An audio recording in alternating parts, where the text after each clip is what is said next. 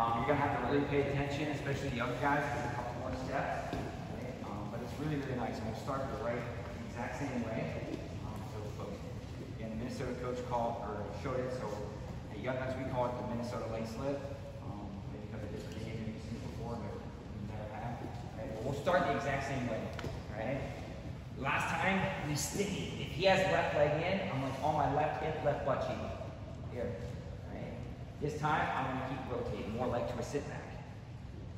I'm going both butt cheeks, and then I switch, right? Where I'm on the opposite side. Right? So, here's what we'll do here. Go put a leg in, right? Number one, I'm gonna sit again. Some kids are messing this up because they're going wrong way.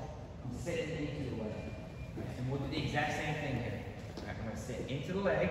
Here, everything's the same. How did we grab before? Push it out, right? This time, I'm gonna go to both butt, uh, butt cheeks, here, and now watch what I'm gonna do with my hands. I'm making an X, right? And I'm gonna do the exact same thing, palm, right, on the bottom of the shoe.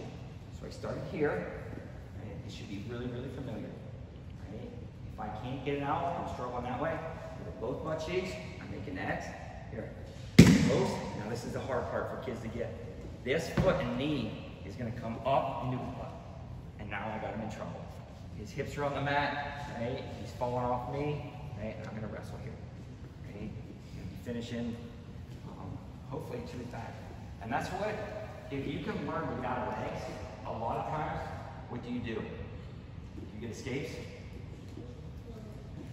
reversals, and the ones that maybe um, are not the most elite leg riders, right? But they hold on for dear life. What happens? You get reversals to the back. Lot of a lot of times getting out of legs, right, it's really really hard, but it's rewarding because you get reversals back. So this Minnesota leg slip, we'll do it again. Right, short sit, grab the same way, switch hands. Put him in back position. I recover position. Right, The hard part again is going to be the leg that's not in. It's going to be post. And this is the part, everybody watch. This is the part everyone screws up. Because right now, both of our butts are on the mat. So I'm going to do this right here. And now I put in a lot of danger. So let's see it one more time. Um, I'll start here, just so we remember. Sit into that. Sit into that. He has this hook good. He's pulling back here. Switch. Post. His foot come inside. Right, up to his butt. And now. Any questions on that one?